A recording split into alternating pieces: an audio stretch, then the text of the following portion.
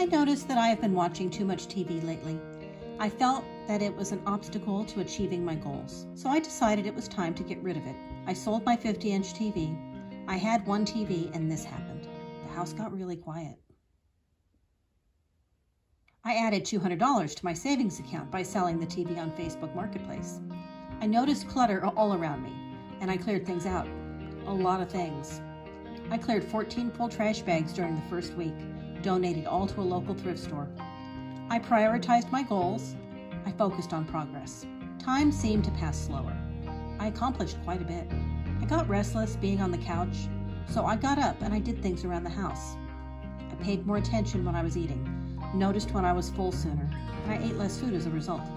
I lost seven pounds the first week without changing my diet or exercise. I wasn't hungry. I wasn't snacking mindlessly.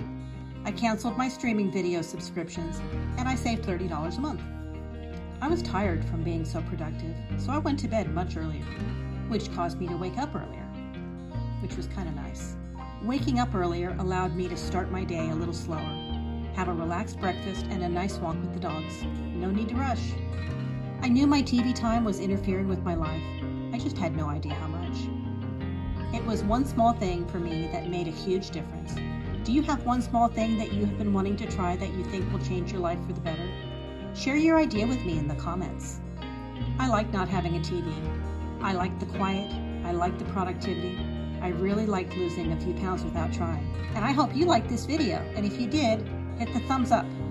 It would mean so much to me. I hope you enjoyed this. Have a great day.